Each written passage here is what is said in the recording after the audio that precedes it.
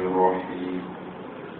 إذا الشمس كورت وإذا النجوم انكدرت وإذا الجبال سيرت وإذا العشار عطلت وإذا الوحوش حشرت وإذا البحار سجرت وإذا النفوس زوجت وإذا الموءودة سئلت بأي ذنب قتلت.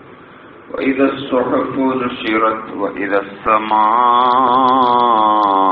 كشطت وإذا الجحيم سعرت وإذا الجنة أزلفت علمت نفس ما أحضرت. صدق الله العظيم. الحمد لله رب العالمين. اللهم صل على محمد وعلى آل محمد.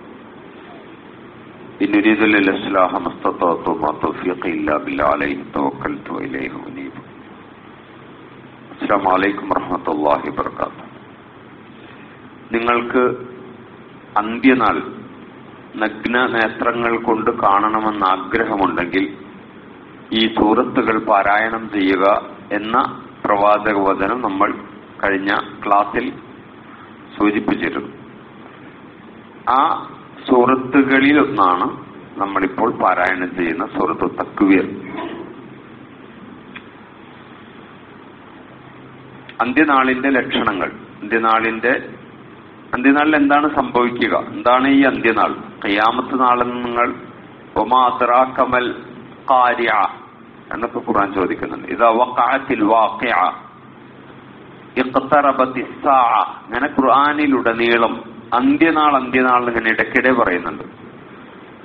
നിങ്ങൾക്കത് കാണണമെങ്കിൽ ഈ സൂറത്ത് വായിച്ചോ എന്നാണ് പ്രവാചകൻ പറയുന്നത്. അതിൽപ്പെട്ട ഒരു സൂറത്താണ് സൂറത്ത് തക്കുവീർ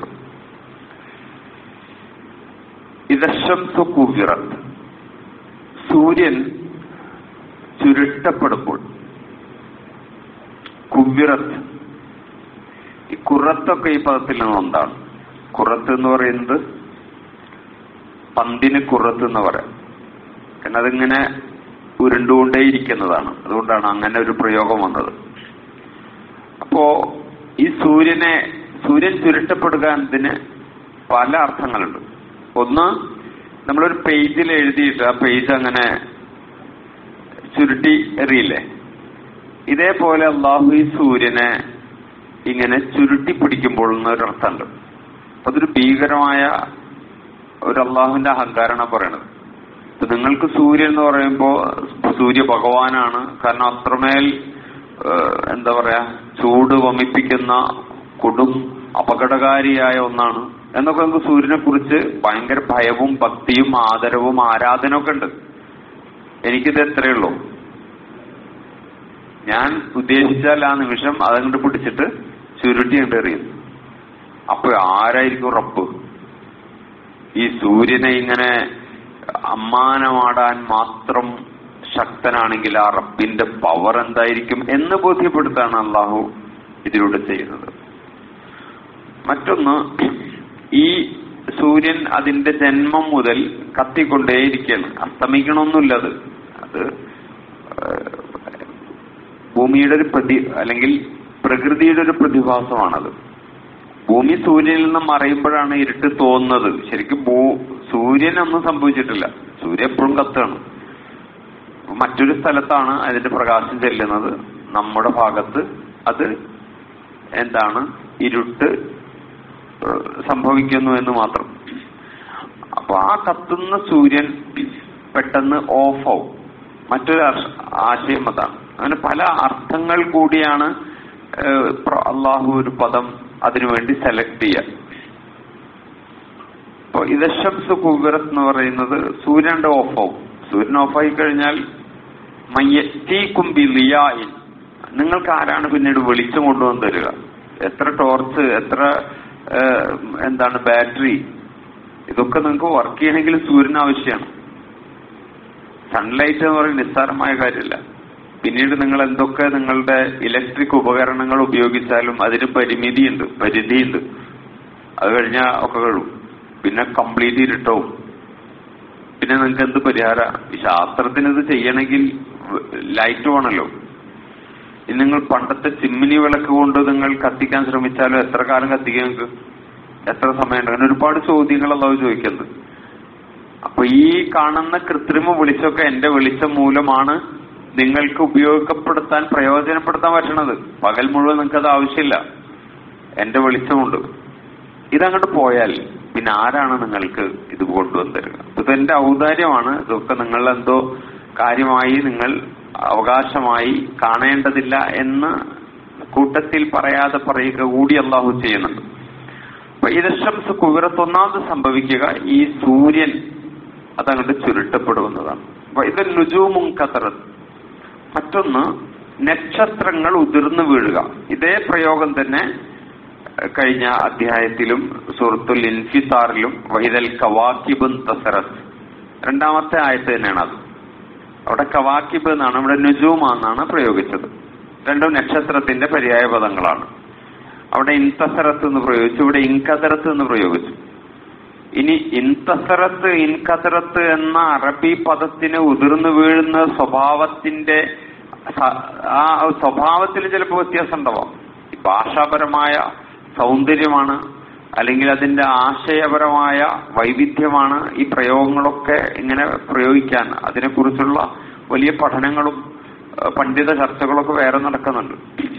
നമ്മൾ ആ വിഷയത്തിലൊന്നും അത്രമേൽ പ്രാവീണ്യമുള്ളവരല്ല അല്ലെങ്കിൽ ജ്ഞാനം ഉള്ളവരല്ല എന്നതുകൊണ്ടാണ് നമുക്ക് അത് പ്രത്യക്ഷമായി നമുക്കിങ്ങനെ മനസ്സിലാവുന്നുള്ളൂ എന്ന് മാത്രം. അപ്പോൾ നക്ഷത്രങ്ങൾ ഉതിർന്നു വീഴുക. സൂര്യനെ പോലെ തന്നെ നക്ഷത്രങ്ങൾക്കും അതിന്റെതായ ധർമ്മമുണ്ട്. ആ നക്ഷത്രങ്ങൾ ഓരോ നക്ഷത്രത്തിനും പ്രത്യേകമായ ധർമ്മങ്ങളുണ്ട്. ആ നക്ഷത്രങ്ങളും സൂര്യനോടുകൂടി ഇല്ലാതാകുന്നു എന്നതാണ്. ഇൻകതരത്ത് എന്ന് പറഞ്ഞാൽ അതിങ്ങനെ ഉതിർന്നു വീഴുക. വൈതൽ ജിബാലു സുയിറത്ത് പിന്നെ നിങ്ങൾക്ക് അന്ത്യനാളിൽ കാണാൻ പറ്റുക പർവതം ഇങ്ങനെ സഞ്ചരിക്കുന്നത് കാണാം. സുയ്യറത്ത് അപ്പൊ പർവതം എന്ന് പറയുന്നത് ഭൂമിയുടെ ആണിയാണ്. ഈ ഭൂമി ഇങ്ങനെ പിടിച്ചു നിൽക്കുന്നത് പർവതം കൊണ്ടാണ്. ആണി പോലെ എന്താണ് ഔത്താദ് എന്നാണ് ഖുർആൻ പ്രയോഗിച്ചത്. അൽനൽ ജിബാല ഔത്താദ. ഈ പർവതം ആണി ആക്കി വെച്ചിരിക്കുകയാണ്. അപ്പോ ഭൂമി അള്ളാഹു സൃഷ്ടിച്ചു അത്രേ. അപ്പൊ മലക്കുകളൊക്കെ അത്ഭുതപ്പെട്ടു. കാരണം ഭൂമി ഇങ്ങനെ കിടന്ന് ആടിയുലയാണ്. അപ്പോഴാണ് താജ്ജബൽ മലായിക്ക എന്താ സംഭവിക്കാന്നറിയില്ലോ. അപ്പൊ അള്ളാഹു പർവതത്തെ കൊണ്ടുപോയിട്ട് ഇങ്ങനെ ശരിക്കും ആണിയടിച്ച പോലെ തന്നെയാണ് പർവതത്തിന്റെ പ്രതലം അല്ലെങ്കിൽ മുകൾ പരപ്പിൽ കാണുന്നതിനേക്കാളും താഴ്ചയുണ്ട് ഇത്ര അതിന്റെ അടിഭാഗം. അത്രയും താഴെയിരിക്കും അപ്പോ ഈ ഒരു ഭാഗം അങ്ങോട്ട് ഇളകിക്കഴിഞ്ഞാൽ പഴയ പോലെ ഭൂമി കിടന്ന് ഇളകാൻ തുടങ്ങും. ഭൂകമ്പം നിരന്തരം സംഭവിച്ചാൽ എന്തായിരിക്കും? അതുപോലെ ഇതിങ്ങനെ ഒഴുകും ഈ സാധനം. അതിന്റെ കൺട്രോൾ നഷ്ടപ്പെടും. മൊത്തത്തിൽ എല്ലാ കൺട്രോളും പോകുന്നുള്ളതാണ് സൂര്യൻ ഉതിർന്നു വീഴുക അല്ലെങ്കിൽ നക്ഷത്രങ്ങൾ ഉതിർന്നു വീഴുക പർവതം ചലിക്കുക എന്നൊക്കെ പറയുന്നതിന്റെ ഉദ്ദേശം അപ്പോ ഭൂമിയുടെ എല്ലാം വ്യവസ്ഥയും ഇല്ലാതാവും. വൈതൽ ഐഷാർ ഒഴത്തിലെത്തും ഐഷാർ എന്ന് പറഞ്ഞാൽ പത്ത് മാസം പൂർത്തിയായ ഒട്ടകത്തിന് പറയുന്ന പ്രയോഗമാണത്ര. എന്ന് പറഞ്ഞാൽ പൂർണ ഗർഭിണി. ഒത്തിലത്ത് എന്ന് പറഞ്ഞാൽ ഉപേക്ഷിക്കപ്പെടുക. യൗമുൽ ഒത്തില എന്നൊക്കെ അറബിയിൽ പ്രയോഗമുണ്ട്. അവധി ദിനത്തെ അങ്ങനെയാണ് പറയാം. അപ്പോ ഒട്ടകങ്ങൾ അവഗണിക്കുക. ഒട്ടകങ്ങൾ അവഗണിക്കുക എന്ന് പറയുമ്പോ ആടും പശുവും അവഗണിക്കുന്ന പോലല്ല. ഒട്ടകം എന്ന് പറയുന്നത് ഈ ആയത്തിറങ്ങുന്ന പശ്ചാത്തലത്തിൽ ഇപ്പോഴൊക്കെ വാഹനങ്ങളായി അവിടെ. അന്ന് അവിടെ കാറും വേറെ സംവിധാനങ്ങളൊന്നുമില്ല. ആകെയുള്ളത് ഒട്ടകമാണ്. മരുഭൂമി ആയതുകൊണ്ട് കുതിരക്കും അങ്ങനെ പരിമിതിയുണ്ട്. മരുഭൂമിയിലൂടെ കുതിര ഒരു പരിധിക്ക് വിട്ടു പോവില്ല. കുതിര അറബികൾ ഉപയോഗിക്കും. കുതിരക്ക് പരിമിതിയുണ്ട്. അതിന്റെ കാലിന് പരിമിതി കുളമ്പിന് പരിമിതിയുണ്ട്. മരുഭൂമിയിലെ ഈ മണൽപ്പരപ്പിലൂടെ മണൽ പരപ്പിലൂടെ ഒന്നും ഒരു പരിധിക്കപ്പുറമൊന്നും ഇതിനെ ഓടാൻ പറ്റില്ല. ഷട്ടകം അങ്ങനെയല്ല. അതൊരു അത്ഭുതകരമായ ജീവിയാണ്. ആനയുടെ കാൽ പോലെയാണത്. ആ കാലിങ്ങനെ മണലിങ്ങനെ വെച്ച് കഴിഞ്ഞാൽ പൂണ്ടു പോവില്ല. അതിന്റെ ചുണ്ട് അതിന്റെ കണ്ണുകൾ ആ കണ്ണിന് പ്രത്യേക ഒരു പാടമൊക്കെ ഉണ്ട്. പ്രത്യേക ഒരു കവറുണ്ട്. ഒന്ന് രണ്ട് മൂന്ന് കവറുകളുണ്ട്. മണലൊക്കെ മണൽ കാറ്റൊക്കെ അടിച്ചു കഴിഞ്ഞാലും ഉള്ളിൽ കേൾക്കില്ല. പിന്നെ അതിന്റെ കൺപീലി. കൺപീലി എന്ന് പറഞ്ഞ കാട് പോലെയാണ്. ഈ മണക്കാറ്റ് വരുമ്പോ കണ്ണടച്ചു കഴിഞ്ഞാൽ ഒരു തരി മണലുള്ളിലേക്ക് പോവില്ല. ഇങ്ങനെ ഒരു പ്രത്യേക ജീവിയാണ്. വെള്ളം ഒന്നും ആവശ്യമില്ല അതിന്. ഈ മരുഭൂമി മരു മരുച്ചെടികൾ പോലെ തന്നെയാണ്. മരുഭൂമിയിൽ വളരുന്ന ചില ചെടികളും പൂക്കളൊക്കെ അതിന് വെള്ളം ആവശ്യമില്ല. അവർ ഭയങ്കര അത്ഭുതമാണ് അള്ളാഹുവിന്റെ ഇതേപോലെ ഒരു അത്ഭുത ജീവിയാണ് ഈ ഒട്ടകം എന്ന് പറയുന്നത്. ആ ഒട്ടകം അതിന്റെ കുടുങ്ങി കഴിഞ്ഞാൽ അതിന് അറുത്ത് കഴിഞ്ഞാൽ വെള്ളം ഉണ്ടാവുന്നു അതിന്റെ ഉള്ളിൽ ഒരു വലിയൊരു പാത്രത്തിൽ വെള്ളം ഉണ്ടാവുന്നു. മറ്റു യാത്രകർ അങ്ങനെ ഒരു ഒട്ടകങ്ങളുമായി പോവാണ്. അപ്പൊ അങ്ങനെ കുടുങ്ങി വെള്ളമൊക്കെ പറ്റിയാൽ ഒരു ഒട്ടകത്തെ അറുത്താൽ മതിയെന്ന്. അപ്പൊ അതിനുള്ളിൽ ആവശ്യത്തിൽ എല്ലാവർക്കും കുടിക്കാവുന്ന വെള്ളത്തിലുണ്ടാവും അപ്പൊ ബാക്കി ഒട്ടകങ്ങളായിട്ട് അവർക്ക് യാത്ര തുടരാണ് അങ്ങനെ ഒരു ഒരു മാജിക്കൽ അനിമൽ എന്ന് പറയാവുന്ന വിധത്തിൽ ഒരു അത്ഭുതമാണ്. ഈ മരുഭൂമിയിലെ കപ്പൽ എന്നാണല്ലോ പറയാം. ഷിപ്പ് ഓഫ് ഡെസേർട്ട് അങ്ങനെയാണ് അതിനെ കുറിച്ച് പറയാം. അപ്പൊ ഈ ഒട്ടകം അറബികൾക്ക് പ്രത്യേകിച്ച് സുഗന്ധ ഒട്ടകങ്ങൾ പ്രത്യേകിച്ച് ഗർഭിണിയായ ഒട്ടകങ്ങൾ എന്ന് പറഞ്ഞാൽ ഒരു അഭിമാനവും അവർക്ക് അത്രമേൽ പ്രിയങ്കരവും ഒക്കെയാണ്. ഈ ഒട്ടകം അവഗണിക്കുന്നു. ഒരാളും തിരിഞ്ഞു നോക്കാണ്ട് പൂർണ ഗർഭിണിയായ ഒട്ടകങ്ങൾ നടക്കണ്ടാവുന്നു ഇത് നമുക്കത് മനസ്സിലാവില്ല. ഞാനത് നമുക്ക് ഏകദേശം അതിന്റെ ബോധ്യം ഉണ്ടാവാൻ വേണ്ടിയിട്ടാണ് ഇങ്ങനെയൊക്കെ ഞാൻ നീട്ടി പരത്തിയത്. യഥാർത്ഥത്തിൽ അറബികൾക്ക് ഈ ഒറ്റ ആയതുകൊണ്ട് മനസ്സിലാവും എന്താണ് അതിന്റെ അന്നത്തെ ഗൗരവമെന്ന്. അപ്പൊ ഉപേക്ഷിക്കുന്ന അർത്ഥം എന്ന് പറഞ്ഞാൽ അത്രമേൽ ആളുകൾ ചകിതരായിരിക്കും. ഭയവിഹുലരായിരിക്കും വൈദൽ അഷാർ ഓർത്തിലത് വൈദൽ വുഹോഷ് ഹുഷിറത്ത് വുഹൂഷ് എന്ന് പറഞ്ഞു കഴിഞ്ഞാൽ ഹിംസ്ര ജീവികളാണ് കാട്ടിലൊക്കെ ഉള്ള എന്താ പറയാ പ്രാകൃതമായ കാട്ട് വന്യജീവികൾ. വുഹോഷ് എന്ന് പറഞ്ഞാൽ ഹുഷിറത്ത് എന്ന് പറഞ്ഞാൽ അവ ഒരുമിച്ച് കൂടും. അല്ല? വുഹൂഷ് ഹുഷിറത്ത് ആ പ്രയോഗം തന്നെ അങ്ങനെയാണ്. ജുമിയാസ് എന്ന് പറയാൻ മതി. പക്ഷെ അതിന്റെ ആ സുഖം കിട്ടില്ല. ഇതിൽ വുഹൂഷ് ജുമിയാസ് എന്ന് പറഞ്ഞാൽ അർത്ഥമൊന്നാണ് പക്ഷെ അതിന്റെ അതിന്റെ സുഖം കിട്ടണമെങ്കിൽ വൈതൽ വഹൂഷു ഹുഷിറത്ത് തന്നെ പറയണം. ആ പ്രയോഗം പോലും അള്ളാഹുവിന്റെ സെലക്ഷൻ ഗംഭീരമാണ്. ഈ വന്യമൃഗങ്ങൾ ഒരുമിച്ച് കൂടുക എന്ന് പറഞ്ഞാൽ പട്ടിനെ കണ്ടു കഴിഞ്ഞാൽ മറ്റ് ജീവികൾ ഓടും. അതുപോലെ പൂച്ചനെ കണ്ടു കഴിഞ്ഞാൽ പട്ടി അതിന്റെ പിന്നാലെ ഓടും. സിംഹവും പുലിയൊക്കെ കണ്ടു കഴിഞ്ഞാൽ പട്ടി ഓടും. ഇങ്ങനെ എല്ലാ ജീവികളും പരസ്പര ശത്രുക്കളാണ്. കീരി പാമ്പ് എന്നൊക്കെ പറയുന്ന പോലെ ഈ കംപ്ലീറ്റ് പേരും ഒരുമിച്ചോണ്ട് കൂടും. എന്ന് പറഞ്ഞാൽ ആടും കുറുക്കനൊക്കെ ഇങ്ങനെ ചേർന്ന് നിൽക്കുക. പാമ്പ് കീരിയുടെ അടിയിൽ ഇങ്ങനെ പതുങ്ങി നിൽക്കുക. എന്നെ രക്ഷിക്കണേന്ന് പറഞ്ഞു. ഈ ഒരു സങ്കല്പം നാല് ശ്രദ്ധ അള്ളാഹുവിടെ പറയണത്. ഗംഭീര ഒരു പ്രയോഗമാണത്. ഇതേപോലെ എല്ലാ ശത്രുക്കൾ എന്ന് നമ്മൾ വിചാരിക്കുന്ന ശത്രുക്കൾ എല്ലാവരും അത് ഹിംസ്രജീവികൾ അവർക്ക് ബുദ്ധി പോലുമില്ല. അവർ സാധാരണ നമ്മൾ ഉപയോഗിക്കുന്ന വിശേഷ ബുദ്ധി ഇല്ലാത്തവരാണ്. അതുകൊണ്ട് അവരെപ്പോഴും കടിച്ചു കടിച്ച് മാന്തുകയും കടിക്കുകയും പരസ്പരം ആക്രമിക്കുകയും ചെയ്യുന്ന സ്വഭാവമുള്ളവരാണ്. ഇവരെല്ലാവരും അങ്ങനെ ഒരുമിച്ച് നിൽക്കുന്നു. വിറച്ചിട്ട്. അള്ളാഹു നമ്മളെ ഭയപ്പെടുത്താണ്. ഭയപ്പെടുത്തില്ല. ഒരു സത്യം പറയണം അള്ളാഹു.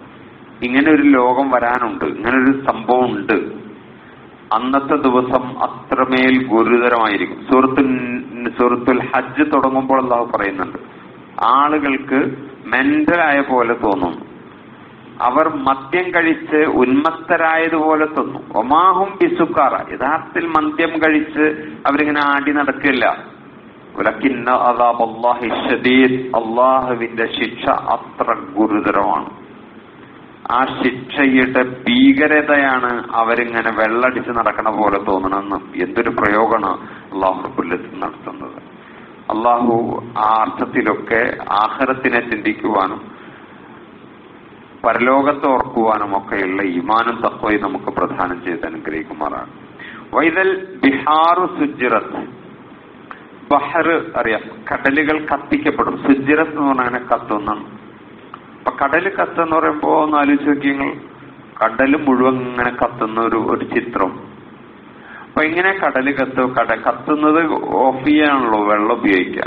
യഥാർത്ഥത്തിൽ ഈ വെള്ളത്തിന്റെ അടിസ്ഥാന മൂലകം തന്നെ ഹൈഡ്രജനും ഓക്സിജനാണ് രണ്ടും കത്തുന്നതാണ്. അതിന്റെ സ്വഭാവം അതിന്റെ ഗുണം സ്വയം കത്തുന്നതാണ്. സ്വയം കത്തുന്നതും കത്താൻ സഹായിക്കുന്നതൊക്കെയാണ് ഹൈഡ്രജൻ ഓക്സിജൻ അപ്പൊ അതിന്റെ ഒരു പ്രത്യേക ഘടനയോടുകൂടി അള്ളാഹു അങ്ങനെ കൊണ്ടുപോയിരിക്കുകയാണ് അത്. ആ ഘടനാ വിശേഷം അള്ളാഹുണ്ട് മാറ്റുന്നതോടുകൂടി കടലിങ്ങനെ ആളിക്കത്തും. വൈദൻ നുഫൂസ് അതുപോലെ ആത്മാക്കൾ കൂട്ടിയിണക്കപ്പെടും. നുഫൂസ് എന്ന് പറഞ്ഞു കഴിഞ്ഞാൽ ആത്മാവ് എന്നാണ്. അപ്പൊ ആത്മാക്കൾ കൂട്ടിയിണക്കപ്പെടുക എന്ന് പറഞ്ഞു കഴിഞ്ഞാൽ ഈ അന്ത്യനാൾ ഇങ്ങനെ സംഭവിച്ച് അതിനുശേഷം ഈ മരിച്ചുപോയവരെ എല്ലാവരെയും പുനരുജ്ജീവിപ്പിക്കും പുനരുജ്ജീവിപ്പിക്കുകയും അവരെ മുഴുവൻ കൂട്ടിയിണക്കുകയും ചെയ്യുക എന്നതാണ് അതിലെ ഒരു പ്രധാനപ്പെട്ട കാര്യം.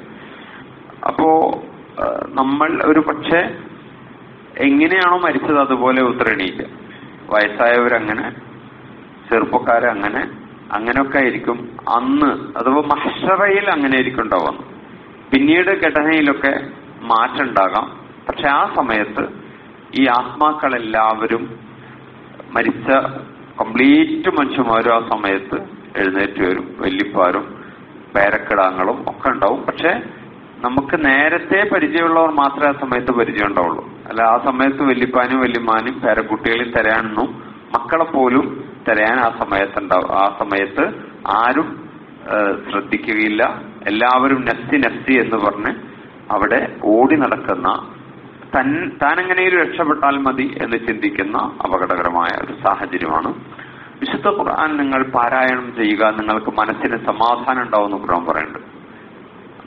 അപ്പോൾ ഇത് കേൾക്കുമ്പോൾ സമാധാനം നഷ്ടപ്പെടാണല്ലോ ചെയ്യുന്നത് എന്ന് നമ്മൾ ചിന്തിച്ചേക്കാം. യഥാർത്ഥത്തിൽ നമുക്ക് ഇപ്പോഴാണ് സമാധാനം ഉണ്ടാവുക. കാരണം നമ്മുടെ ചിന്ത മുഴുവൻ ദുനിയാവിന്റെ പ്രശ്നങ്ങളിലാണുള്ളത്. വീട്ടിലും നാട്ടിലും ലോകത്തൊക്കെയാണ് ബിസിനസ്സിലൊക്കെയാണ് നമ്മൾ കിടന്ന് കെട്ടി. അതാണ് നമ്മുടെ സമാധാനം നഷ്ടപ്പെടുന്നത്. ഈ ഇത് വായിക്കുമ്പോൾ അതിൽ നിന്നൊക്കെ നമ്മൾ രക്ഷപ്പെടും. എന്നിട്ട് സാരല്ല റബ്ബിന്റെ വിധിയാണ്.